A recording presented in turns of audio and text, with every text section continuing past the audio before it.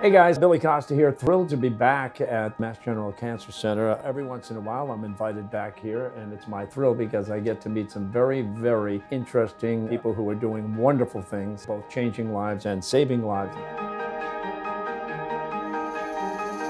And today, we're joined by Dr. Nir Hacohen. First of all, great to see you. Good to see you. Nice to meet you. I don't know if it's just me, but it seems like very recently I'm hearing the word immunology a whole lot. Is this me or is this really happening? And if so, why?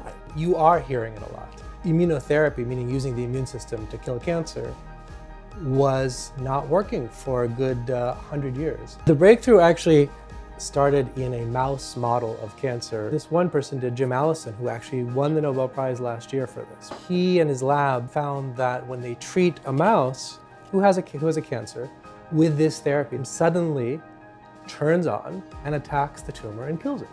And yet the immune system was always there. It was always there. And the reason that it was not working well is that your body has a way to naturally stop the immune system for, from killing the body, right?